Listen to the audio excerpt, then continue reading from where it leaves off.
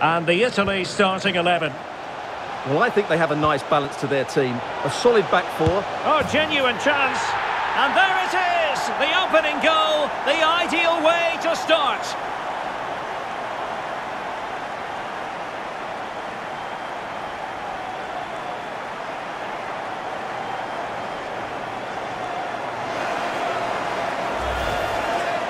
Well, it's great awareness of space in the box, and then he shows a lot of composure with the finish.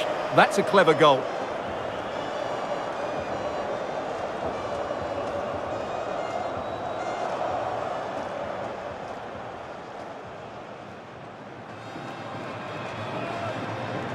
Bellingham. Phil Foden now. Foden.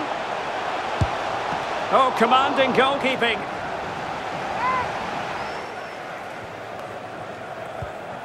Trippier. And Bellingham. And that, a piece of goalkeeping you're going to see again and again and again.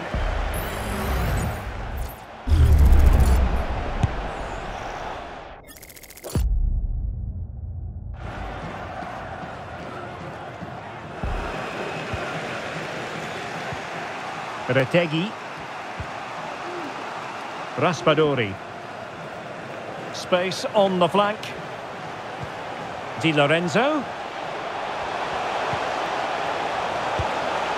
Oh no, it's gone a begging. Well, they can't miss opportunities like that. What a chance to equalise.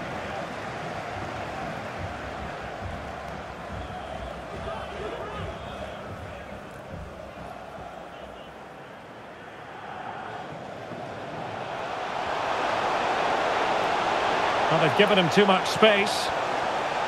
Targets available, cross comes in. And they've done it to square the game once again. Exhilarating.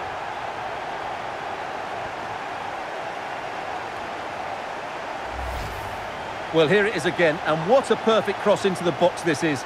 Just inviting someone to attack it, which makes it a fairly simple finish in the end. It's a really good goal.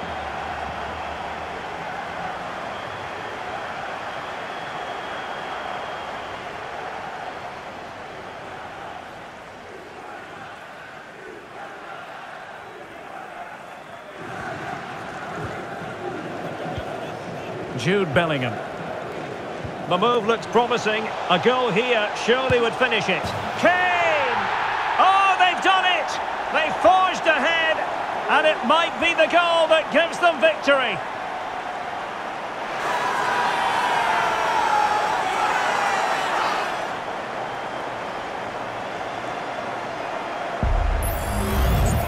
Well, just look how he holds off the defender. He keeps his balance and he still hits the target.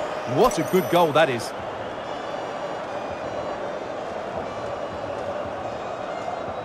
And the referee blows the whistle, and England will be moving on to the last four here at the Euros.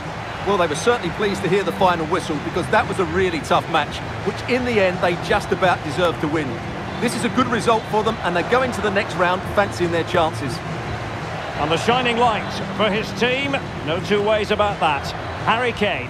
Well, he was a major reason why they won today. He was so reliable, and he inspires those around him.